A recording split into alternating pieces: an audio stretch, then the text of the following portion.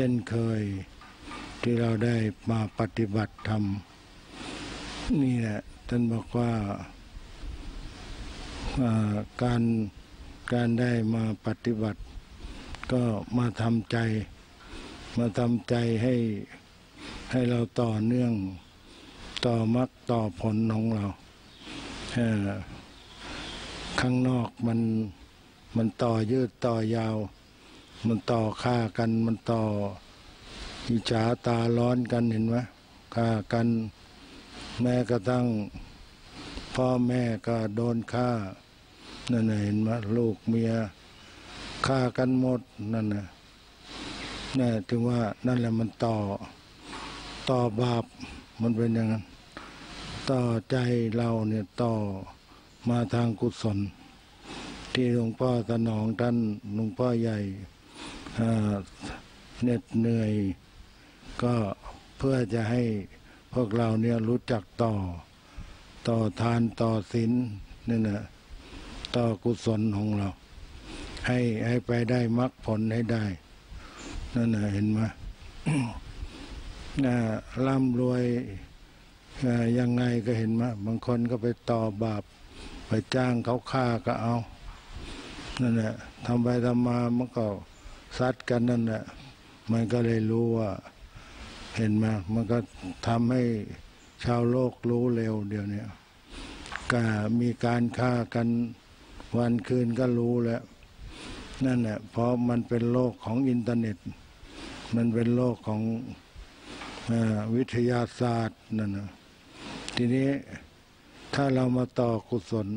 มาต่อสมาธิของเรา นี่แหละต่อบุญ ต่อให้ปู่ย่าตายายให้เราเราก็ต่อจะต่อให้เยือกนั่นแหละเราเราเคยทุกข์ร้อนทำไงจะให้เย็นทำไงเราจึงจะปองสังเวชได้ ว่าผลสุดท้าย ก็แค่นั้นแหละ มันก็ตายไปด้วยกันนั่นแหละจมดิน ฝังดินไปด้วยกันใช่ไหมนั่นแหละอาตมาบอกว่าในโลกนี้มันเป็น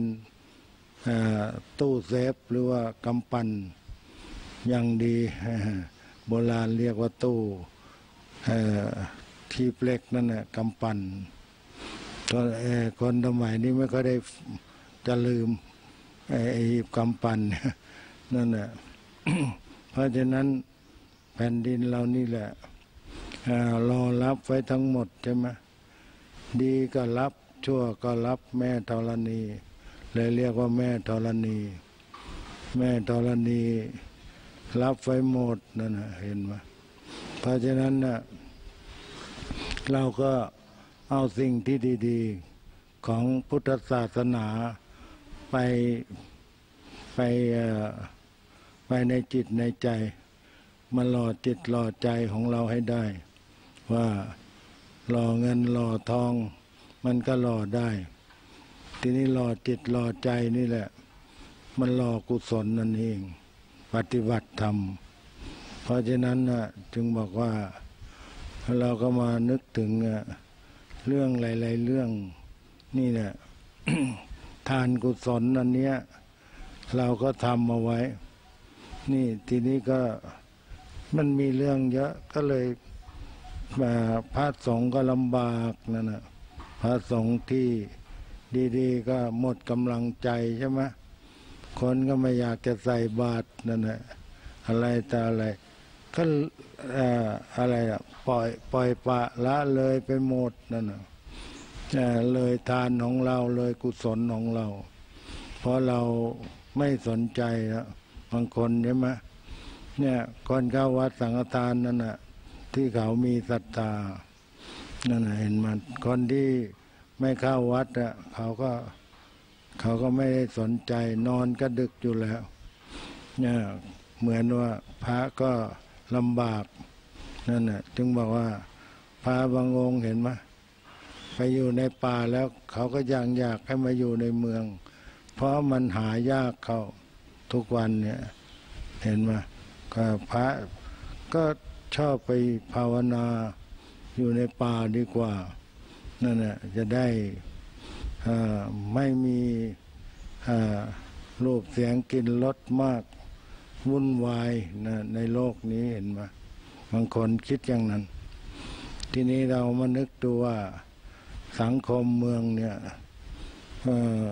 ลำบากมากทุกวันเนี่ยเราก็เอาน้ำนี่แหละ น้ำอะไรล่ะ น้ำจิตน้ำใจนี่แหละที่เรียกว่าน้ำธรรม นี่แหละที่บอกว่าเอาไว้ฉโลมใจเรา เนี่ยน้ำอมฤตเนี่ยอมฤตตถายนี่แหละที่ที่บอกว่าแค่น้ำน้ำธรรมเนี่ยที่บอกว่าน้ำใจอันนี้เอง ที่ยังมีอยู่ในชาวพุทธ ใช่ไหม ถ้าชาวพุทธไม่มีแล้วเนี่ยเห็นไหมแล้วอะไรมันจะเกิดขึ้น มันไม่มีให้กัน มันไม่มีจากคำว่าอาภัยกันเมตตากัน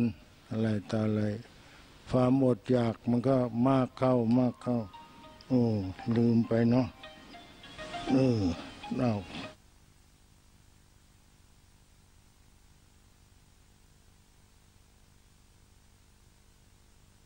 ไอ้ทีนี้ก็ก็เลยคนเราก็เลยคิดว่ามันมันเป็นเรื่องของความ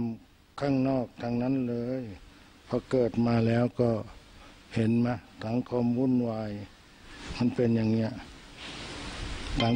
สังคมวุ่นวายมาก เพราะฉะนั้นอะจึงบอกว่าคนเราอะถ้าเราเรื่องการกุศลนี้แหละ ทำให้เราเนี่ยได้ชนะชนะใจของเรา นั่นน่ะเห็นว่าผู้สูงอายุทำไมจึงประคับประคองตัวได้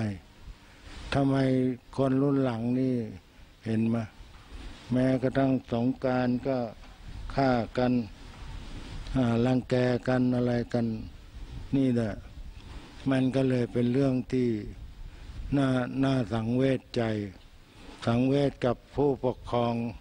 พ่อแม่พี่น้องเนี่ยหนักใจ หนักใจลูกๆหนักใจ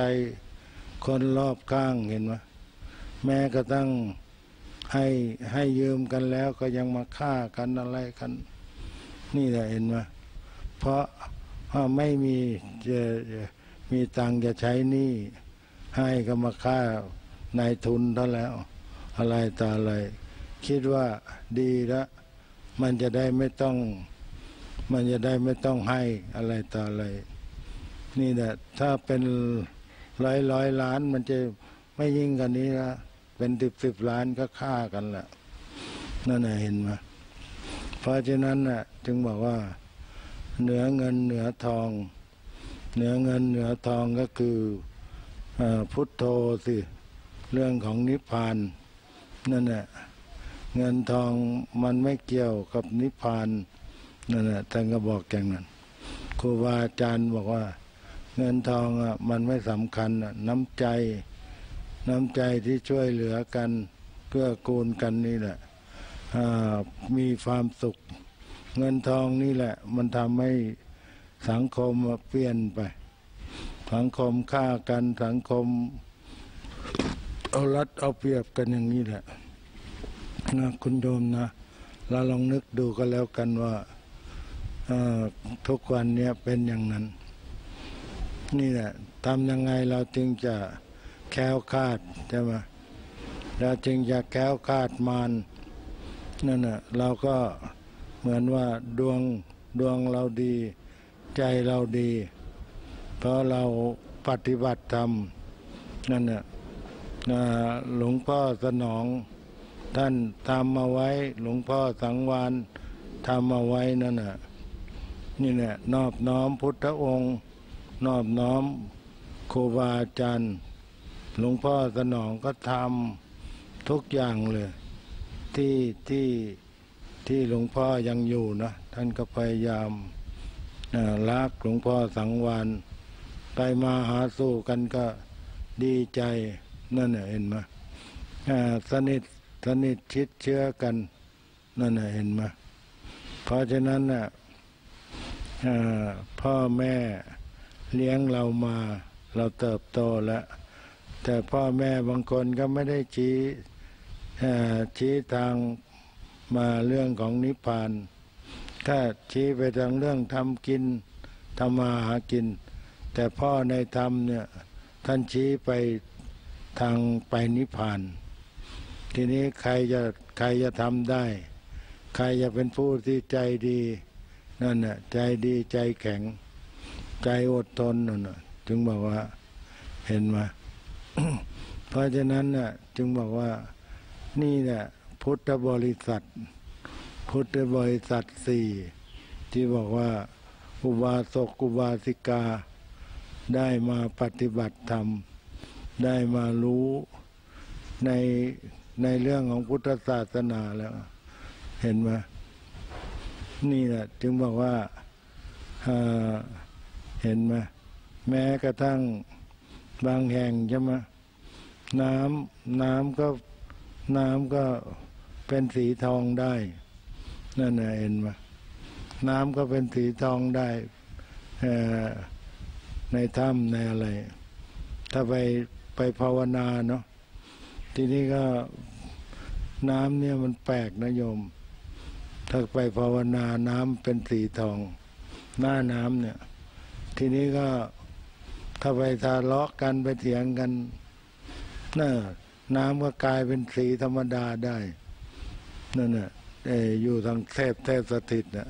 ที่เขายกให้อัตมาไว้นานแล้วไม่ได้ไปนั่นน่ะเห็นไหมเขาก็เอ่อ เขาก็ดูแลกันไว้พวกโยมโยมๆเขาก็ไปสร้างพระเจดีย์ก็มาชวนกัน เจดีย์ไม่ใหญ่อะมันอยู่บนยอดเขา นั่นน่ะเขาเทพเทวาก็ก็อยากให้สร้างอีกนั่นน่ะสร้างองค์หนึ่งแล้วนั่นน่ะแล้วอยากให้สร้างอีกองค์นั่นน่ะเห็นไหมเขาก็เขาก็เป็นนักปฏิบัติ แบบพวกเราเราๆงี้แหละ ทำทำแล้วมันเกิดสมาธิ มันก็เกิดเขาก็ไปสอนเขาก็ไปแนะ แม่ของเขา แม่ของเขาก็ภาวนาได้นั่นนะเห็นมาเพราะฉะนั้นน่ะจึงบอกว่าเอ่อเราโปรดใครไม่ได้ เราก็โปรดพ่อแม่เราได้นะท่านบอกว่าบุญเหลือเกินนั่นน่ะชวนพ่อแม่ไปสวรรค์ ไปสวรรค์นิพพานได้ นี่แหละเป็นบุญอันสูงอันสูงยิ่ง เพราะฉะนั้นน่ะคนเราเนี่ยเห็นว่าลูกขาดกตัญญู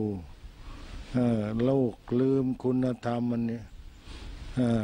เห็นไหมแม่ก็ อย่าไปกินเหล้าเลยลูกเอ้ยลูกก็โตแล้วลูกสาวอ้าวฆ่าแม่ได้เห็นไหมเมาเนี่ยไอ้คนเมาเนี่ยมันเมายังไม่ มันเมายังไม่ลืมตัวหรอกนะ เมาแล้วทานอุจจาระได้นะเออ นั่นแหละ นั่นแหละเมาเมาเมามากเลย ใช่ไหมเมาแล้วมันไม่ไม่ทานเนี่ย แสดงว่ามันยังมันยังรู้เห็นไหม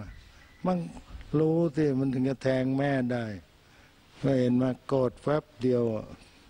นั่นน่ะเห็นไหมเป็นเป็นยักษ์เป็นมารไปได้น่ะฆ่าแม่ ฆ่าพ่ออนันดริยกรรม มาห้ามสวรรค์ห้ามนิพพาน แล้วเมื่อไหร่เกิดก็ไม่รู้นั่นน่ะเห็นไหมพวกฆ่าพ่อฆ่าแม่นะนั่นแหละพระองคุลิมานไม่ได้ฆ่าแม่ ก็เลยสำเร็จเห็นไหมฆ่าคนอื่น โดยที่ไม่ได้ไม่ได้เจตนาว่าเราจะฆ่า แต่พระเอองคุลิมานนี่เชื่ออาจารย์ นั่นแหละว่าอาจารย์บอกว่าถ้าไปถ้าฆ่าคนได้เป็นพัน จะจะจบวิชา จะเรียนวิชาจบเออทีนี้ฆ่าไปฆ่าไปก็นับไม่ไม่ได้กลัวจะลืมก็ตัดนิ้วมือไว้ ร้อยไว้ ร้อยร้อยเอาเก็บไว้ที่ไหนอะแขวนคอไว้กลัวจะหาย นั่นแหละก็เลยเรียกว่า พระองค์กุลิมานน่ะเนอะแต่มาเจอพุทธเจ้าใช่ไหมพุทธเจ้าพูดไม่กี่ประโยคกำลังกำลังกำลังวิ่งเหนื่อยๆนั่นแหละถ้าไม่เหนื่อย ถ้าไม่เหนื่อย ก็ฟังธรรมะไม่ออก เหนื่อยแล้วใจมันว่าง ใจมันมันถอดใจแล้ววิ่งไม่ทัน เห็นไหม เมื่อว่าถอดใจว่าโอ้วิ่งไม่ทัน แล้วเราก็เหนื่อยเอ้ยพาหยุดก่อนพาหยุดก่อนนะเห็นไหมพระบอกว่าเราหยุดแล้วอ้าวหยุดอะไรยังเห็นยังไม่หยุดเดินไม่หยุดอะไรต่ออะไรเงี้ยเนี่ยเป็นนิมิต แต่พุทธเจ้านั่งอยู่โคนต้นไม้นั่นแหละเห็นไหม พระผู้มีพระภาคเจ้าแบ่งภาคไป ไปแสดงฤทธิ์ให้ดู ทีนี้องคุลิมานก็วิ่งไปสามยอดเนี่ยสามยอดเห็นไหมยอดหนึ่งยี่สิบฟายี่สิบฟาหรือยี่สิบเส้นเนี่ยใช่ไหมตอนเรียกอย่างนั้น นั่นแหละสามยอดเหนื่อยเลย วิ่งไม่ทัน บุญของพระพุทธองค์ใช่ไหมทำให้ดูได้ นี่แหละทีนี้ก็หยุดเราหยุดแล้วหยุดอะไรอ้าวเราหยุดในการทำบาป เราไม่อยากทำบาปแล้ว นั่นแหละทีนี้องค์องคุลิมานก็ เออองค์นี้เข้าใจพูดเนาะ เธอที่ยังยังทำบาปอยู่ ยังไม่ยอมหยุดใช่ไหมมือยังเปื้อนเลือดอยู่เห็นไหมเราไปเบียดเบียนเขา ลูกเมียเขาจะอยู่อย่างไร อะไรตาอะไรนะพุทธองค์ก็เทศให้ฟัง ไม่กี่ประโยค องคุลิมานเป็นคนมีปัญญาดี นั่นน่ะก็ฟังก็เข้าใจเลย เข้าใจจิตจิตก็ว่างใช่ไหม จิตก็ว่างก็นั่นแหละเหมือนว่าคุณธรรมของท่านนี่บรรลุขึ้นมา นั่นเห็นมาทีนี้ก็ชวนไปบวชนะชวนไปบวชเนี่ยถ้าถ้าเราไม่ไปบวชเราก็จะล้างบาปไม่ได้ใช่ไหมพุทธองค์ต้องบอกอย่างนั้น ทีนี้ก็พอรู้ธรรมก็รู้ธรรมขึ้นมาก็ไปบวชบวชเป็นพระภิกษุเห็นไหมนี่แหละก็เหมือนโยมนี่แหละมากันทุกทุกวันเสาร์วันอาทิตย์ก็ดี หรือว่าอยู่บ้านก็ยังทำนี่แหละหล่อจิตหล่อใจนี่แหละถึงแม้ว่าเศรษฐกิจจะลำบากก็ทำนั่นเห็นไหมนั่นเห็นไหมเศรษฐกิจ ไม่บีบคั้นยังไงก็ยังทำพุทธบริษัทนะเห็นไหมถ้าถ้ามันหลุดพ้นไปได้นั่นนะหลุดพ้นจากความลำบาก เศรษฐกิจไม่ดีต่อไปเราก็ดีอีกใช่ไหมบางคนนะ่ะเขาบอกว่าเขาไปเขาเขามาจากบ้านนอก เขามาจาก โคราชหรืออะไรเขามาขายขายของยี่สิบกว่าปี ขายเห็นมาเหมือนว่าหนีตายมาจากบ้านนอก ขายส้มตำขาย ขายต้มตำข้าวเหนียวนึ่งอะไรต่ออะไรเนี่ยไก่ย่างอะไรต่ออะไรหาบขาย ตอนแรกๆเห็นมานะอดทน โอ้ ขายได้ต้องข้าวเหนียวต้องห้าหกโล แบบนี้ก็เข้าท่านะ อยู่ได้เนาะเราก็มานึกตัวเห็นไหมคนตัดอ้อยลำบากร้อนยิ่งกว่า คนขายส้มตำอีกใช่ไหมนั่นน่ะนี่แหละ เพราะเก็บเล็กผสมน้อยทำไปทำมามาอยู่ร้านใหญ่ได้ มามา ซื้อที่ได้มา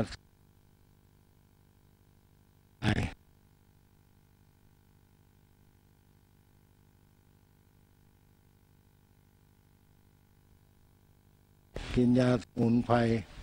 นั่นเนี่ยจะได้หายปวดขา อะไรก็ไม่หายข่าวมันเสื่อม เพราะหาบของขายด้วยนะยังคลอดลูกอีกอะไรต่ออะไร นั่นแหละข่าวเสื่อม ทีนี้ก็ยอมยอมมาโรคหัวใจก็จะมาเห็นไหมเพราะว่าแต่อายุมากเก้าเนี่ยอของทุกอย่างอะเห็นไหมมันส่งเสริม เป็นเบาหวานเป็นความดัน เป็นหัวใจ เป็นไตเป็นทุกอย่างในร่างกายบางคนเห็นไหม ทีนี้ถ้าเราเราทานสมุนไพรไว้ด้วยนั่นน่ะก็ดีก็ช่วยกันยาหลวงยาสมุนไพรก็ดีเหมือนกันไอ้หมดหมดตัวนี้มันกัดเจ็บมาทีนี้ก็ ทีนี้ก็ นี่แหละเห็นไหมจากหาบ ก็เหมือนคนจีนน่ะ บอกว่าพูดดีนั่นน่ะยิ้มแย้มแจ่มใส นี่แหละพูดดี ขายดี นี่แหละเสน่ห์เสน่ห์ปลายจวักนี่นะที่บอกว่าเสน่ห์ปลายจวักผัวรักจนตายเสน่ห์กินกายผัวรักจนแก่เนี่ย ที่ที่ครูบาอาจารย์นั้นเทศเอาไว้เนาะนั่นแหละเพราะว่าทำทำอาดีนั่นแหละส้มตำอะไรต่ออะไร นี่เห็นว่าเขาเอาตัวรอด เราก็มานึกดูตายทำไมมันมาขายอยู่กลางทาง กลางทางไอ้เยาวราชบางคน โอ้โห ท่านรู้เปล่า คนพวกเนี้ยไปซื้อที่บ้านนอก เห็นแบบนั้นนะส้มตำอะไรต่ออะไรเห็นไหมเพราะความอดทนร้อนยังก็ตายชักใช่ไหม ในกรุงเทพทุกวันเนี่ย เห็นไหมเขาทนเนาะนั่นแหละแล้วบางคนเห็นไหมไอ้บางคนมันทำต้มตำอยู่ ไอ้พวกขายหุ้น ซื้อหุ้นมันก็มันก็มาคุยกันเนี่ยหลวงพ่อสนองนั่นก็เขาก็มาเล่าให้ฟังทำไมมันรวย จากจากขายส้มตำมันเอามั่งเอ้ามันเห็นมันซื้อหุ้นกันขายหุ้น มันก็เลยรวยเพราะหุ้นขึ้นมาเลย เห็นมาบางคน ก็เหมือนคนพม่าเห็นไหมเขามาเขาเขากลายมาเป็นผู้จัดการร้านในเมืองไทยก็เยอะอะนั่นแหละเพราะความลำบาก ความอดทนความ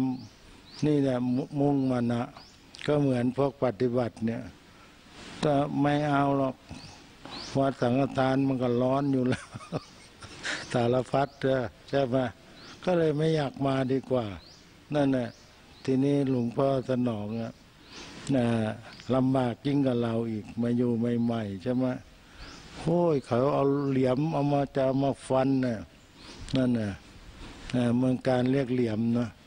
นั่นแหละเขานั่งอยู่ ฟันฟันแล้วมันถูกถูกฝานั่นแหละคนพวกเนี้ยก็เลยก็เลยคิดว่า คิดว่า เออหลวงพ่อท่านอดทน ท่านก็ไม่บอกกับใคร ตอนหลังพวกนี้ก็ไปเป็นอมพาตจะมาจนตายแน่จะตายยังต้องนิมนต์หลวงพ่อสนองไป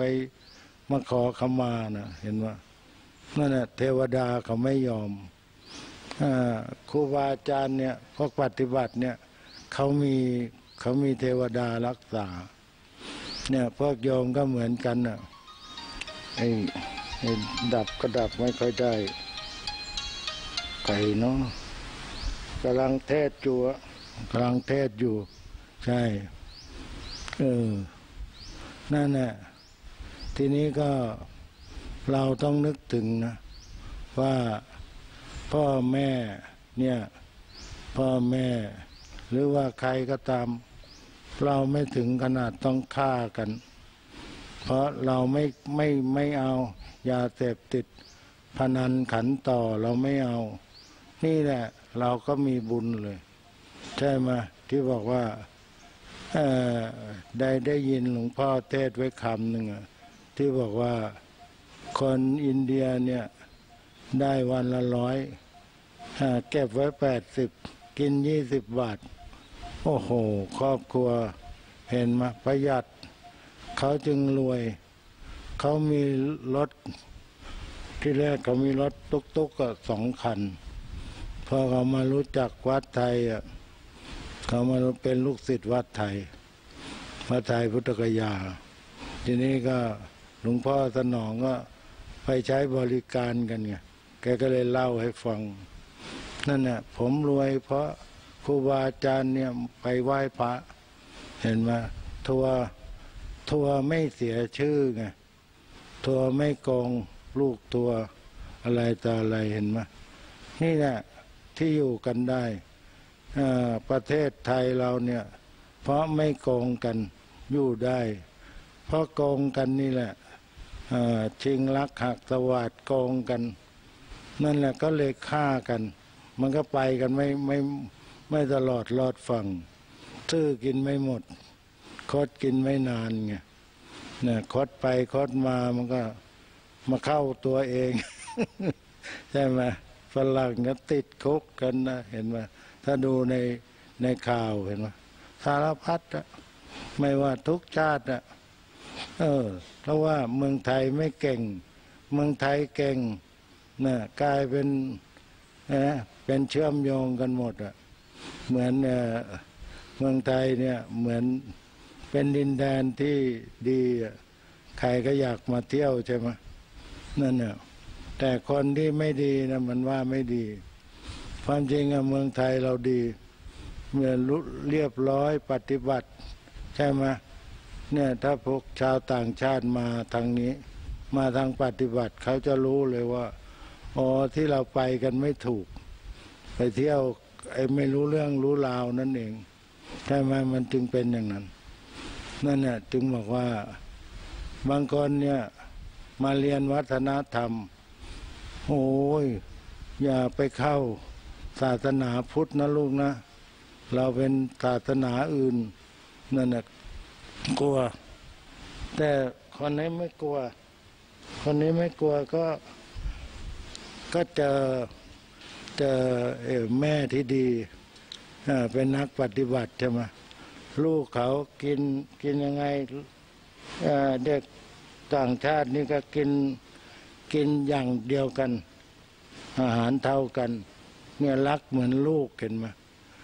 พอเขากลับไปเขาเขาเอาพ่อแม่มาเที่ยว พ่อแม่ก็เป็นรัฐมนตรีเห็นไหมเห็นไหมเป็นพวกกระทรวงนู้นกระทรวงนี้ นั่นน่ะเห็นไหมเขาบอกว่า เขาเอาเอาสมาธิที่แม่สอนเนี่ย คนไทยสอนเนี่ย เอาไปใช้ชีวิตประจำวัน เขาเป็นพยาบาลตอนหลัง อยู่อยู่อเมริกาใต้ เขาบอกว่าอของเนี่ยมันไม่เท่าไหร่ ค่าส่งนี่มันแพงเหลือเกิน เห็นไหมตีงสองสามพันนะต้องไป นั่นนะเห็นไหมเนี่ยความรักความเชื่อมสัมพันธ์ นี่แหละพุทธศาสนาถ้าใครเข้าใจนะศาสนาเราไม่เสื่อม แต่ศาสนาที่มันยิงกันนั่นนะมันเสื่อม มันโกงกันมันฆ่ากันเป็นผักเป็นปลานั่นแหละใช่ไหมนั่นแหละที่บอกว่าคำโบราณว่า ไว้ใจลูกจ้าง ตาบอดสองข้าง ไว้ใจลูกตาบอดข้าง นั่นเนี่ยเห็นไหมไปไว้ใจลูกจ้างทีนี้ มันก็ยักตังยักเงินทองอยู่เรื่อยก็ ทีนี้ก็ไปไล่เขาออก เขากลับย้อนกลับมาฆ่าตายเห็นไหมยอดย้อนกลับมาฆ่าโยมผู้หญิงตายนั่นเองนะมัน เมื่อเขาไล่ออก เราก็ต้องนึกถึง เออ เรามันไม่ดีเนาะเมื่อเราอยู่กับบ่อบุญแล้ว แต่เราเราไม่เอาอะ เราก็จะไปโกงเขาอีกนั่นนะเห็นไหมแล้วก็มาฆ่าเจ้านายทีนี้เราจะไปทำงานอะไรอะ ก็ติดคุกกันสินะดีไม่ดีก็จะประหารชีวิตหรือเปล่าก็ไม่รู้นั่นนะเห็นไหม จึงบอกว่า กรรมเนี่ยมันเดียวนั่นแหละคิดถูกคิดผิดอยู่เท่านั้นอะญาติโยมเป็นเป็นชาวที่มาวัดสังฆทานเนี่ยอ่าทุกคนเนี่ยเขาเขามีบุญของเขานั่นแหละอ่าสังคมจะเป็นยังไงก็เรื่องของเขาใช่ไหมแต่สังคมในพุทธบริษัทเนี่ย เนี่ยเราพยายามละเลิกละให้กันอะไรต่ออะไร ไม่ให้มีในเรื่องที่ว่าทะเลาะกันตีกันฆ่ากันตายเนี่ยเห็นไหมไม่มีนั่นแหละอาฆาตมาตร้าย เราเราไม่มีนั่นแหละเถียงกันเดียวมันก็หายใช่ไมโยม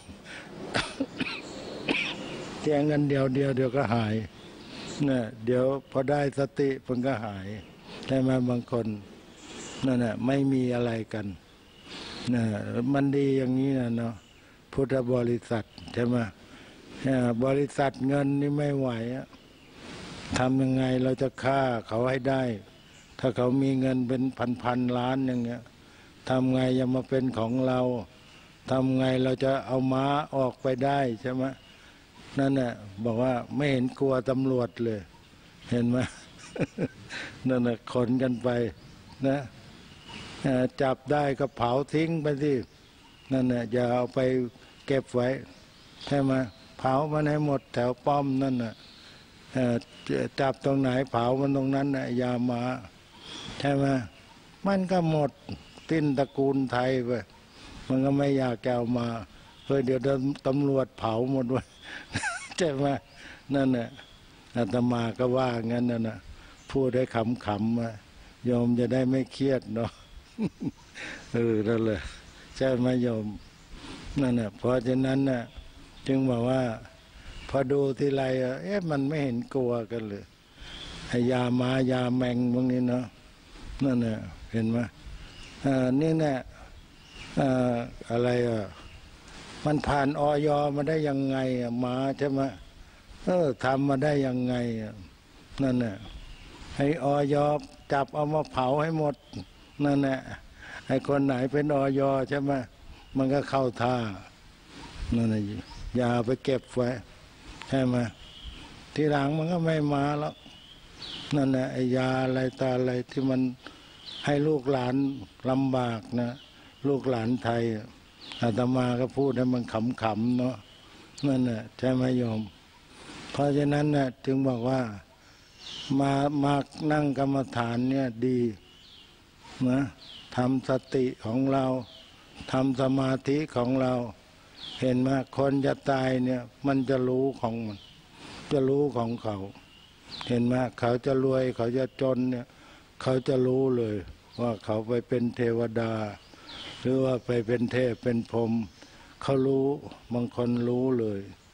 นั่นเห็นไหมหลวงปู่ตื้อบอกว่าอ้าวยายยายตายแล้วอ้าวอ้าวจันฉันไม่ได้แล้วอ้าวเป็นสาวมาแล้วมาไหว้หลวงปู่ตื้อเห็นไหมเออยายคนนี้ตายแล้ววะนั่นแหละเห็นไหมอ้าวพูดเดียวเดียวไปมาไหว้หลวงปู่แล้ว เออ เป็นสาวมาแล้วเห็นไหม นี่แหละจึงบอกว่า อดทนเอาโยม อดทนชาติเนี้ยเราไปได้วิมานเราไปได้เป็นกฎกฎปีนั่นนะใช่ไหมถ้าเราอยากจะอยู่นาน เราก็อยู่ได้ใช่ไหมไปเป็นเทวดา บางคนบอกว่าไม่เอาหรอก เทวดามีแต่สุขสบาย เรามาเกิดโดยวัยดีกว่า จะได้ไปนิพพาน จะได้มาทำสมาธิ นั่นน่ะเห็นไหมเนี่ยเขาชาตินั้นเขาก็รวยใช่ไหมนะเขาก็รวยได้แต่ค้าขายทำบุญให้ทาน ทีนี้ก็พอพอจะตายอายุหกสิบสี่พองบอกว่าโอ้โหทำไมอาโกพองใสเหลือเกินนั่นน่ะพาท่านว่านะทีนี้ก็พอไม่ช้าอาโกก็ตายแล้วตาย สองสามปีอโกมาเกิดแล้วเห็นไหมมาเป็นมามาเกิดเป็นลูกของหลานๆแล้วเห็นไหมอโกทำไมทำไมไม่ไม่ไปเกิดกับพ่อแม่ไปเกิดกับลูกสาวที่มันรวยอะเฮ้อมันภาวนาไม่เป็น นั่นน่ะเห็นว่าไอ้ไอ้น้องตะไคคนเนี้ยเขาภาวนาไงนั่นน่ะ เขาเขามาเกิดเขามาเข้าฝันบอกก่อน เห็นไหมมีบุญอย่างนี้แหละโยมเนี่ยว่าคนปฏิบัติไม่มีบุญนะ มีบุญเนี่ยยานวิเศษเนี่ย เห็นไหมจะไปเกิดที่ไหนก็ไปบอกก่อนนั่นน่ะพอพอเผลอเผลอคนนะโจมโจมนั่นนะไม่ไม่ไม่เรียกยายใช่ไหมไม่เรียกไม่เรียกอาม่าแล้วใช่ไหมน่ะไปเรียกโจมโจมนั่นน่ะ เรียกชื่อเดิมนั่นน่ะว่าเออ เอออากอมาเกิดจริง ๆนั่นน่ะใช่ไหมแล้วปัญญาดี เห็นไหมทำบุญสุนทาน มีปัญญาใช่ไหมนั่นแหละวัดสังฆทานเนี่ยแกซื้อของมาทำบุญอยู่เรื่อยแหละเยอะๆทำเยอะๆนะแกแกค้าขายดีก่อนเนี่ย นี่แหละจึงบอกว่า เราเราต้องมานะอดทนช่วงนี้ช่วงนี้เห็นไหมมื่อต้องแฝนปลาไว้ไว้กินนั่นน่ะที่คนจีนทำเข้าใจพูดเข้าใจอะเมื่อหรืออย่ามองนานเดี๋ยว เดี๋ยวมันเค็มใช่ไหมแฝนปลาเค็มไว้กินกินเนี่ยข้าวต้มนั่นน่ะใช่ไหมโยม ฮัลโหลฮัลโหลเฮ้ยกำลังเทศอยู่เฮียมันดับก็ดับไม่ไม่ได้ ไม่ตัวนี้ยังไม่ค่อยได้หัดมันเลย นั่นน่ะเออ นี่แหละโยม เพราะฉะนั้นนะจึงบอกว่าการปฏิบัติธรรมเนี่ย ดีนะโยมนะทำไปเถอะเออ ว่ากุศลนั้นเนี่ยมันเป็นเรื่องจริงนั่นแหละทำไปเถอะอาตมาเนี่ยโง่ที่สุดนะในกระบวนลูกๆ ในกระบวนดื้อดื้อที่สุดนะเออดื้อโง่ที่สุด ชอบชอบฆ่าสัตว์ ตอนเด็กๆ ไม่รู้หรอกว่ามันบาปเนาะอ่าแต่ใช่ไหมทีนี้ก็ เราก็เหมือนคนโตไปหาผักหาหญ้ามาเลี้ยงน้องนั่นน่ะให้แม่ ใช่ไหมทีนี้พอมาเจอหลวงพ่อสนองโหโหเรานี่บาปก็ไม่รู้จักเท่าไหร่ ใช่ไหมโยม นั่นน่ะเห็นไหมอ่าทำอะไรก็ได้หมดมือขึ้นใช่ไหมแต่พอมารู้เรื่องบาปไม่เอาแล้ว ยุงยังไม่อยากจะฆ่ามันนะ ไม่ฆ่านะไม่ตบนั่นแหละถ้าเราไม่ได้เจตนามันมันโดนมันไม่บาปนะ ถ้าเราไปเจตนาตีมันบาปใช่ปะยุงยังไม่เอาเลยกลัว ใช่ไหมโยม เพราะว่า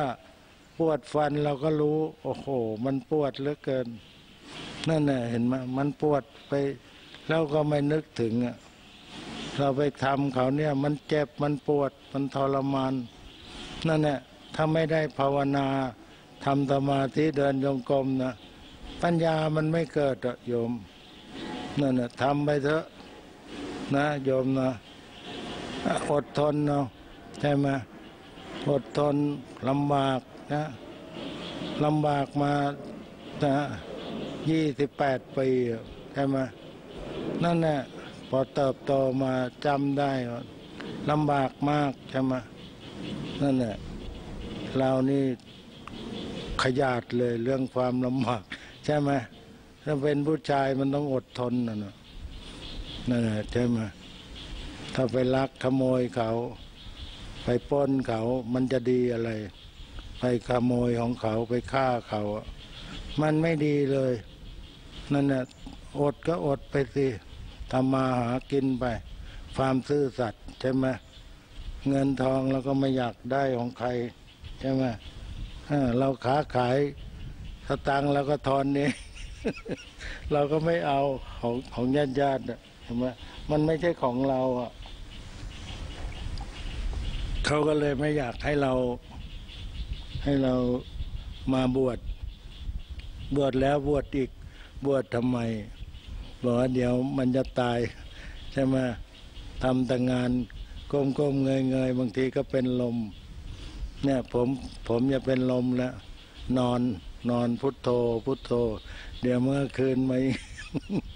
เห็นว่าตอนหลังมาเจอหลวงพ่อสนอง ท่านชวนมาบวชเนี่ยเราเราจะบวชได้เหรอนั่นแหละยังเชื่อเรื่องหมอดูใช่ไหมทีนี้ก็ เออ เหมือนดอกไม้อะเราไม่เด็ดคนอื่นมันก็เด็ดไปเองนะโอ้โหพระองค์นี้ฉลาดตัวแก้ปัญหาให้เราตกหมดเลยนั่นแหละท่านก็ยังหนุ่มๆนะแต่ท่านมีสมาธิไงนั่นแหละเห็นไหมเราถามอะไรท่านพูดได้หมดเราถึงจะต้องยอมท่านต้องมาบวชนั่นแหละมาไหมโยมมาบวชไหมเออเออมาก็มานั่นแหละทีนี้ก็ นี่สามารถป้าป้าป้าฝันยืนนะเป็นครูคุณครูอะก็บอกเนี่ยรับปากแล้วต้องจริงนะ อย่าอย่าไปพูดเล่นๆนะพระองค์นี้ อนาคามีนะนั่นน่ะโอ้ยมีเมออาตมาไม่รู้จักก็รู้ใช่ไหมไม่รู้ว่าตัวเป็นยังไงใช่ไหมก็มองไม่รู้นะเราไม่มียาน นั่นนะแต่ก็ศรัทธาว่าท่านปฏิบัติเออสำรวมเนี่ยเรียบร้อยเห็นไหมเห็นไหมนั่นน่ะเราก็เออ มาก็มามามาจริง ๆ เนี่ยไอ้ที่ตรงเนี้ยมันเป็นสวนนะเป็นท้องร่องนะลวงพ่ออุตส่าห์ซื้อมาหมดแล้วอาบน้ำตรงเนี้ย โอ้โหคัน หลวงพ่อก็ไม่บอกน้ำมันตาย น้ำมันใสแต่อาบเข้าไปแล้วมันคันตัวโยม เออเกิดเป็นแผลเป็นอะไรขึ้นมาเออแบบนี้เราไม่บวชซะดีกว่ามั้งบวชแล้วทำไมมันเป็นอย่างนี้ ไม่รู้หรอกว่าคันว่าน้ำมันมันเสีย โยม นั่นน่ะเขาก็ไม่อยากให้หลวงพ่ออยู่ หลวงพ่อสนอง เห็นไหมอุปสรรคสารพัดท่านอดทน เดี๋ยวนี้เห็นไหมท่านนอนสบายนั่นน่ะอยู่อยู่ในโรงก็สบายนั่นน่ะเห็นไหมท่านบอกว่าเราอะช่วยคนได้เป็นๆนะเนาะตายแล้วเราก็จะไปช่วยใครล่ะคราวเนี้ยน่าเห็นไหมน่ะช่วยตอนเป็นๆเมตตาจริง ๆนะ มันมันเหมือนเป็นกรรมเก่าด้วยเนาะท่านบอกท่านบอกว่าเราก็ส่งเสริมนู่นแหละไปหาหลวงพ่อสนองหลวงพ่อสนองมีบารมีช่วยได้นะเราไปฟังนั้นแล้วก็สงสารนั่นแหละบางทีเห็นมันต้องเปลี่ยนโทรศัพท์นั่นนะเห็นไหมเพราะว่าเพราะว่าคนมาขอท่านเยอะหลวงพ่อสนองคนนั้นมันทุกข์เยอะ นั่นจึงบอกว่าพระอริยเจ้าท่านก็เห็นไหมต้องไปยืม ไปยืมมานะบางทีไม่ทันเห็นไหมเงินออกไม่ทัน ผลิตไม่ทัน ต้องยืมโยม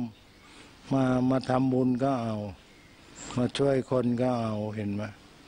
เนี่ยใจท่านมีเมตตาจริง ๆ นั่นแหละถึงบอกว่า ทำไมจึงจึงให้มีอยากให้มีโรงทาน มีทั้งวันใครขิวมาก็ได้กิน เนี่ยท่านไม่ได้คิดเรื่องปัญหาอะไรอะท่านคิดว่าความทุกข์เนี่ยความหิวเนี่ยมันเป็นโรคโรคอย่างยิ่งใช่ไหมทำให้คนคิดสั้นทำให้คนลักขโมยเพราะลูกมีครอบครัวเห็นไหม โดนจับเพราะมันลูกไม่มีนมไม่มียารักษาโรคอะไรต่ออะไรสารพัดอะที่ในในโทรทัศน์ เพราะฉะนั้นน่ะเราจะไปก่อ เราจะไปก่อหนี้นั่นน่ะทำนั่นน่ะท่านบอกว่าจะไปก่อหนี้ก่อหนี้ก่อสินให้ทุกนั่นน่ะทีนี้มันก็เห็นไหมคารวะอะไม่มีใครช่วยใช่ไหม นั่นแหละพอพอมีหนี่มากๆก็ขายที่หมด ทีนี้ก็ลำบากเห็นไหมบางคนบอกว่า เป็นเป็นราชการแต่ไม่มีไม่มีบ้านอยู่นะปลดเกษียณก็ไม่มีที่อยู่ก็มีบางคน บางคนมาเข้าวัดเนี่ยโอ้ยมีบ้านมีอะไร มีพร้อมเนี่ยเพราะเชื่อหลวงพ่อสนอง รักษาศีลภาวนาเห็นไหม ไม่งั้นเจ้าชู้หมด เจ้าชู้กินเหล้าเล่นการพนันหมดเห็นไหมห้าอย่างเนี่ย โทษห้าอย่างเอาหมดใช่ไหมบางคน ตอนหนุ่มๆใช่ไหมโอ้ถ้ารู้อย่างนี้ เราซื้อไว้แถวบ้านโป่งนะแถวแม่น้ำนะอ่าข้าราชการคนนั้นเขาเล่าเนาะตอนหนุ่มๆก็ไม่ได้คิดอะไร พอพออายุมากเข้าเห็นไหม หมดนั่นน่ะเพราะฉะนั้นน่ะจึงบอกว่าผู้คนที่ที่ประมาทนะหนุ่มๆประมาทนี่แหละพอเหมือนอย่างปลูกต้นไม้ เมื่อเราชรานั่นเอง มันก็ไม่ได้กินลูกดิเนี่ฉันใดกับเราไม่ได้สะสมไว้ต้องกับต้องกับคารวาสใช่ไหม ต้องกับหนุ่มๆอะนั่นแหละพอแต่งงานแล้วบางคนก็ปลูกต้นตาลไว้พอยี่สิบปีลูกออกบวชต้นตาลนี้ได้ได้ทำน้ำตาล ได้ทำขนมนะได้ทำบุญเห็นไหมเนี่ยคนโบราณเห็นไหมเราเราได้ยินตกกระใจายเนาะคำพูดอันเนี้ยว่า ตอนหนุ่มๆพอแต่งงานนะเห็นไหมพอมีลูกยี่สิบปี ไอ้ต้นตาลมันออกลูกอะอย่างนี้แหละคุณโยม เพราะฉะนั้นถ้าเราสะสมมาต้องกับเด็กๆอะเราก็ไม่ต้องลำบากกับพ่อแม่มาก ใช่ไหมอันนี้เดี๋ยวนี้มันเครื่องใช้จ่ายมันเยอะเห็นไหม อะไรล่ะเกมเกิมเนี่ยมันไปเช่าเกมมาเด็กๆอะมันอยู่อยู่มาเที่ยวกับแม่เนี่ยดูสิมันรู้จักไปเช่า ชั่วโมงมาเล่นกันได้อะเห็นไหมไม่ต้องไปที่ร้านนี่แหละจึงบอกว่า พ่อแม่ก็ปวดหัวไปเนี่ยเนี่ยลูกกับคนเดียวก็ไม่รู้จะพูดยังไง เมื่อไหร่มันจะจะรู้ทันทีใช่ไหมบางคน บางคนพอโตแล้วก็ไปเล่นการพนันเลี้ยงพ่อแม่เลย นั่นแหละไปเล่นกดเกมกันนี่แหละนะคุณโยมเนาะเพราะฉะนั้นน่ะจึงจึงบอกว่านี่เนี่ยปัญหาสังคม แล้วเราก็เลยบอกว่า มีแท็กซี่คุณธรรมก็ดีเนาะแท็กซี่คุณธรรมเนี่ยถ้ามีสักห้าร้อยคน มีสักพันคนเนี่ย เขาช่วยวัดสังฆทานได้เยอะเลยนะ ยอมเห็นอย่างนั้นน่ะเขาใส่กระปุกเอาไว้ พอเต็มเขาก็มาช่วยหลวงพ่อสนอง ถ้ามีสักพันคนเนี่ย มันจะเข้ามาเท่าไหร่ เห็นไหมเนี่ยหลวงพ่อสนองออกกุบายให้แท็กซี่เนี่ยมาปฏิบัติธรรม แล้วก็มีป้ายคุณธรรม แท็กซี่พวกนี้ก็ไม่กล้าไปไปโกงไปป้นไปฆ่าใคร นั่นน่ะเพราะว่ากลัวบาปเห็นไหม กลัวบาปกลัวกรรม ไม่ต้องไปเล่นสนุก ไม่ต้องไปเล่นอะไรอะวิ่งรถไปเล่นการพนันใช่ไหมแล้วก็จะมาออกกับชาวบ้านนั่นแหละพอพอมาเป็นคุณธรรมแล้ว แท็กซี่ก็เหมือนเป็นดาวเลยนั่นเห็นไหมาทีนี้คนบางคนไม่เคยเห็นเนี่ยเอ๊ะมีด้วยเหรอแท็กซี่คุณธรรมไทยลมเย็นเห็นไหม เพราะฉะนั้นน่ะจึงบอกว่าแท็กซี่ถ้าถ้ามีป้ายคุณธรรม ก็เหมือนน่ะสุนัขที่มีป้ายแฝนคอ ใช่ไหมเพราะว่ามีป้ายแฝนคอ เออ สุนัขคนเลี้ยง สุนัขจรจัดไม่มีป้ายแฝนคอนั่นเห็นไหมก็เขาก็จับเอาไปอะไรตาอะไรอย่างเงี้ยนี่แหละพอเรามีป้ายคุณธรรมเนี่ยความดี เนี่ยหลวงพ่อไพลินก็พยายามช่วยกัน ช่วย เราก็อยากให้ให้มีคุณธรรมกันหลาย ๆ ทุกตะบวงตะวงกลมนั้นใช่ไหมให้มากันเยอะๆมันจะได้เข้าใจใช่ไหมอย่างน้อยอะประหยัดให้ลูกเมียได้ อย่างน้อยออกไปปลดเกษียณแล้วมีมีที่มีมีงานนั่นน่ะเห็นไหมมีเงินให้ ลูกเรียนเนี่ยมันก็บุญแหละนี่เนี่ยเกิดจากคุณธรรมเนาะที่บอกว่าคนเนี้ยเขาพูดนะพอพอพอเงินเดือนออก เขาก็คุยกับรู้กับเพื่อนไว้ตอนหลังแกก็เป็นผู้พันเนี่ยแกใจดี แกไม่ไปกินเหล้าไงเฮ้ยวัววัวยืมตังค์หรือยี่สิบบาทวัวยังไม่ได้กินข้าวเลย อะไร เงินเดือนเพิ่งออกทำไมทำไมเงินหมดแล้วก็ไม่มีเฟือกชวนไปกินเหล้ากลับบ้านได้สบาย นั่นเห็นไหมไม่งั้น ถ้าแกไม่พูดอย่างนี้ เพื่อนๆมันก็จะไปกินแต่เหล้าใช่ไหมนี่แหละเออทหารทหารตำรวจทำอย่างนี้มั่งสิจะได้เหมือนผู้พันคนนั้นเดี๋ยวนี้แกล่วงลับไปแล้ว นะแกใจบุญแกก็มาทำมาทำบุญที่วัดสังฆทานเนี่ยแต่ก่อนภรรยาก็มานะลูกๆก็มานั่นน่ะเพราะฉะนั้นน่ะจึงบอกว่าความดีเนี่ยมันก็มีนะ เรื่องที่จะทำให้เราเนี่ยรอดพ้นจากอบายมุขใช่ไหมอ้าวไปกันทุกวันทุกวันเนี่ยบางวันก็ หมดเลยนะใช่ไหมบางวันก็มีบ้างอดบ้างเนี่ย มันก็อยู่แค่นั้นเอง มันไม่ได้มีอะไรเลย เนี่ยการพนันนี่แหละ เรามาลานธรรมของเราเนี่ย เราอย่าไปเลยของไม่ดีเนาะก็ขอฝากเอาไว้เนาะที่เรามาปฏิบัติธรรมเนี่ย มาสังเกตลมหายใจเข้าหายใจออก นี่แหละมันเป็นทิพย์นะ มันเป็นบุญทิพย์ทีนี้บางคนไม่เห็น ไม่เห็นก็ไม่เป็นไร บางทีมันก็เห็นได้ บางทีมันก็ระลึกชาติได้นะนะสองชาติสามชาตินั่นนะใช่ไหมไอ้ระยึไอ้ระลึกชาติที่ไม่ดีนี่มันเยอะโยม มันไม่รู้กี่ร้อยชาติของอาตมาเองนะชอบฆ่าสัตว์ ใช่ไหมนี่แหละไอ้ระลึกชาติชั่ว ใช่ไหมโยมนั่นแหละนึกถึงทีไรก็กลัวเลย ใช่ไหมโยมนั่นแหละหลวงปู่บอกว่ามันมันยังมาไม่ทัน บางทีมันมันไปเกิดในนรกก็มีโอ้โห ถ้ามันตามมาทัน มันจะไล่กัดเราใช่ไหมโยมนั่นแหละอ่านะเล็กๆน้อยๆวันนี้เนาะถ้า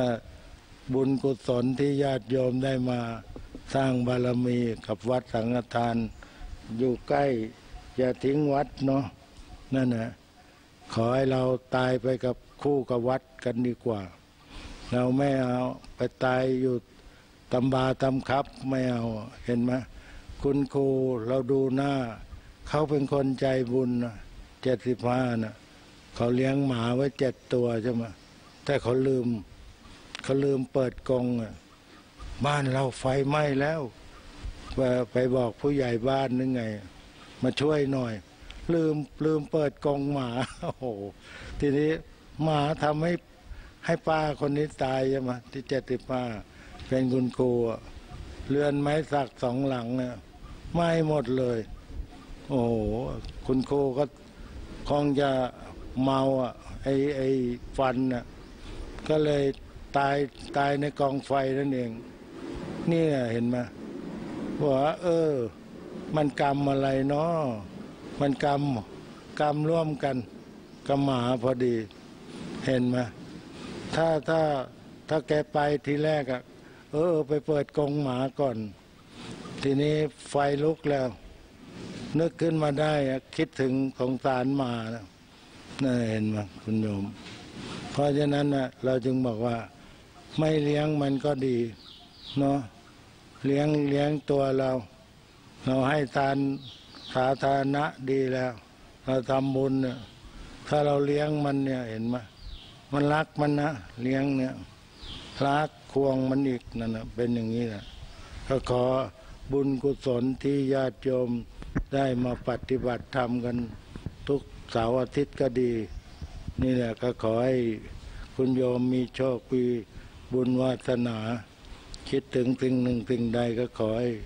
ลูกหลานของเราอยู่รอดปลอดภัยพ่อแม่ของเราก็เหมือนกัน ขอให้สัตว์โลก ทั่วโลกนะมีความสุขความสุขเนาะอย่าได้มีความทุกข์เลย ขอให้อยู่ในภูมิมหาลาโภมหายาโสมหาปริลาโล ขอให้มีทรัพย์สลิงคารมากมายตามปากคุณแม่บุญเรือน ขอให้ ทุกท่านทุกคนเทินสาธุสาธุสาธุอนุโมทามิค่ะที่ได้รับฟังจบไปนั้นก็เป็นการแสดงธรรมของหลวงพ่อสามารถสมาธิโกนะคะค่ะ ต่อไปก็จะเป็นการถวายสังฆทานนะคะ ใครที่มีสังฆทานก็ขอให้นำเข้ามาที่ลานธรรมนี้ได้เลยนะเดี๋ยวเราจะกล่าวคำถวายพร้อมกันค่ะ ค่ะพร้อมแล้วตั้งนโมพร้อมกันสามจบนะคะ นะโมตัสสะภะคะวะโต อะระหะโต สัมมาสัมพุทธัสสะนะโมตัสสะภะคะวะโต อะระหะโต สัมมาสัมพุทธัสสะนะโมตัสสะภะคะวะโต อะระหะโต สัมมาสัมพุทธัสสะสุทินัง วัตเมธานัง อาสวะกยาวหัง สุขังโหตุ ทุติยามปีสุทินังวัตเมธานังอาสวะกยาวหัง สุขังโหตุตติยามปีสุทินังวัตเมธานัง อาสวะกยาวหัง นิพพานังโหตุสาธุค่ะ ท่านใดที่มีสังฆทาน พี่เควันเชิญเลยค่ะ ค่ะพี่โชเควันนี้ก็จะถวายปัจจัยกับหลวงพ่อสามารถนะคะเพื่อร่วมสร้างกุฏิที่พักสงฆ์ปทุมวดีที่จังหวัดกาญจนบุรีนะคะเป็นจำนวนเงิน 50,000 บาทค่ะโมทนาสาธุสาธุสาธุค่ะ แล้วก็มีญาติธรรมก็ร่วมกันนะคะหลวงพ่อสามารถเนี่ยท่านก็ไปดูแลที่พักสงฆ์ปทุมวดีที่จังหวัดกาญจนบุรีนะคะ ท่านก็กำลังจะสร้างกุฏิสงฆ์ถ้าเรามีโอกาสนะคะก็ไปร่วมบุญกับท่านค่ะ 嗯嗯。 ครูบาอาจารย์ของวัดสังฆทานเองท่านก็เมตตานะคะหลายรูปหลายองค์ทีเดียวก็ไปสร้างที่พักสงฆ์ที่บ้านเกิดท่านบ้างนะคะหรือว่าตรงสถานที่นะคะที่มีญาติโยมเขามีศรัทธานะคะอันนี้ก็เป็นความเมตตาของครูบาอาจารย์นะคะเราก็ถ้าช่วยท่านได้เราก็ช่วยนะคะก็ถือว่าเป็นงานของพระพุทธศาสนาเช่นเดียวกันนะคะค่ะโมทนาคุณกิติยาหมื่นจันทรนะคะร่วมบุญอีก 300 บาท คุณนันทราพรกุลชนบูรณ์นะคะ น้ำไฟหนึ่งร้อยนะคะ แล้วก็คุณอืมเอ่ออุบลรัตน์โชตนิรมิตกุลนะคะ ค่าน้ำเข้าไฟอีก 100 บาทค่ะ คุณยายสุรางนะคะน้ำไฟอีก 200 บาท แล้วก็คุณชุติมาศวิงวอนนะคะ100 คุณมาริสาวิงวอนอีก 100 บาทได้เรียนอ่าคุณแสงเพนปิติสมน้ำไฟ 100นะฮะแล้วก็ให้ทุนการศึกษาอีก 140 บาท คุณพิมพ์นภาวาสิการน้ำไฟ 100 ทุกบุญอีก 100 บาท โมทนาทุกทุกท่านนะคะอ่าใครจะเพิ่มเติมในส่วนของการทำบุญกับวัดสังฆทานก็ยินดี อย่างที่บอกว่าขณะนี้โครงการสามเณรนะคะ ก็ยังปฏิบัติธรรมอยู่ที่พักสงฆ์ธรรมชัยสิริมงคลนะฮะจะร่วมเป็นค่าน้ำค่าปานะค่าพาหนะให้กับสามเณรก็ยินดี หรือว่าทุนการศึกษานะคะ ก็เดี๋ยวฝากบอกบุญพวกเราอีกหน่อยนะ ได้ทำบุญกันแต่กี้ป้าแป๋วออกไปด้านนอกลำโพงมันไม่ดังท่านโตบอกว่าลำโพงแตกแล้ว เพราะฉะนั้นเดี๋ยวใครจะร่วมทำบุญลำโพงนะ เดี๋ยวมามาช่วยกันเพิ่มเติมหน่อยนะทำบุญลำโพงจะได้เสียงดีเหมือนป้าแป๋วเนี่ย คงคงแตกแล้ว ได้ได้เลยก็ไปถวายท่านเลยฮะอะค่ะค่ะถวายท่านเลย ค่ะใครจะเพิ่มเติมถวายที่ปทุมวดีกับหลวงพ่อก็เอาไปถวายท่านเลยนะคะค่ะคุณนภาพรอ่าล่าแก้วนะคะน้ำไฟอีก 200 บาทนะคะ คุณนิพนธ์พุกบุญช่วยนะคะอีก 200 บาท แล้วก็อ่าคุณดิษยาแซ่แต้นะคะน้ำไฟ 200 ทุกบุญอีก 300 รวมเป็น 500 บาทค่ะโมทนาสาธุกับทุกท่านนะคะอ่าขึ้นไปถวายเขาเลยค่ะตรงนั้นเลยวางวางเลย อ่าวางวางไว้เลยค่ะอะค่ะสาธุค่ะ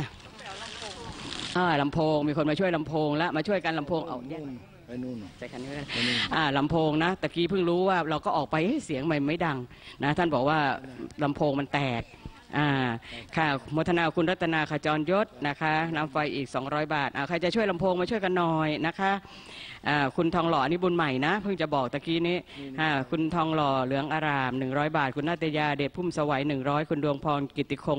100 คุณสิริฉัตรพิทัชโชค 100 คุณผ่อนคุ้มอ่ำ100 คุณประหยัดสมศรี 100 อันนี้ก็รวบรวมกันมาเป็นค่าน้ำค่าไฟนะคะโมทนาสาธุกับทุกท่านค่ะอ่าก็ช่วยกันอ่าตัวป้าบ่าวเองก็ดีใจอ่าช่วยถอดรองเท้านิดนึงนะคะ ถอดรองเท้านิดนึงแล้วก็หิ้วออกไปนะคะ เดี๋ยวหิ้วออกไประวังสายไฟนะคะ ระวังสาย เดี๋ยวจะโอ้สาธุมาลำโพงเดี๋ยวใส่ถุงให้เลยค่ะลำโพงช่วยกันช่วยกัน เพราะว่าลำโพงวัดเรานะเอ่อเครื่องเสียงก็อยากจะให้ดีๆหน่อย เพราะว่าวัดเราก็เป็นวัดใหญ่นะคะโมทโมทนาคุณลำไพคำชูน้ำน้ำไฟหนึ่งร้อยลำโพงหนึ่งร้อยค่ะโมทนาสาธุค่ะอะไรว่าทุกคุณค่ะนี่ลำโพงดอนดอนดอนโทนี่นี่นี่ลำโพงค่ะนี่นี่อืมนี่ลำโพงนี่ถ้าน้ำเข้าไปนะคะเจ้า อืมลำลำโพงนี่หลวงปู่มวยหลวงปู่มวยพรุ่งนี้มวยเออเดี๋ยวเดี๋ยววันเนี้ยท่านจะมาพักคืนเนี้ยเออเออดีให้ได้ได้บุญเยอะๆเนาะเออเออลำโพง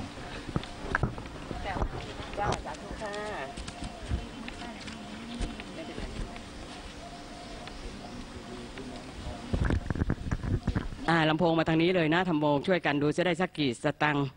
ช่วยกันก็ต้องบอกละเพราะลำโพงก็ของวัดเรานะคะ เพราะว่าเราก็อยากจะให้เสียงที่ลานธรรมนั้นออกไปทั่ววัด เพราะบางคนก็ไม่สะดวกที่จะเข้ามาที่ลานธรรมนะคะ เราก็ช่วยสงเคราะห์กัน มีกำลังก็ช่วยไปเถอะค่ะบุญเล็กบุญน้อยทำกันให้หมดนะคุณโจติกาผุดคงอีก 100 บาทนะคะ แล้วก็คุณทัศนันน้อยอ่ำลำโพงอีก 500 บาทโมทนาสา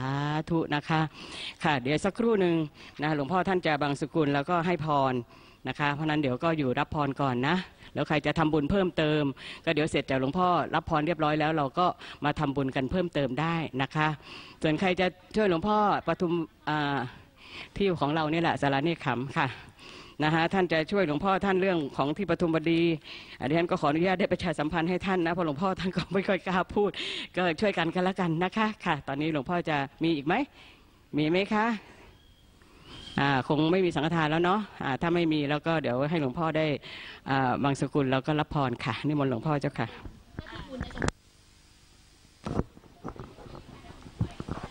นี่นั่นดอนดอนดอนเลยดอนเอ่อเอ่องานนิจาวัฏสังกาลาสังการทั้งหลายไม่เที่ยงหนอ อุปาตวยธรรมมิโน มีอันเกิดขึ้นแล้วเสื่อมไป เป็นธรรมดา อุปชิตวานิโรชันติเกิดขึ้นแล้วย่อมดับไป เทสังวูปสโมสุโคความเข้าไประงับแป่งสังขารทั้งหลายเหล่านั้นเป็นสุขสาธุอาจิลังวัตยังกายโย กายนี้มันไม่นานนอ ปัทวิงอติเสสติจะนอนทับซึ่งแผ่นดิน ชุดโตเปตวิญญาโน มีวิญญาณไปปราศจาก อันบุคคลทิ้งเตียแล้ว นิรัตตังวะกะลิงกะลังลาวกาบตาท่อนไม้ท่อนฟืนไม่มีประโยชน์ สาธุ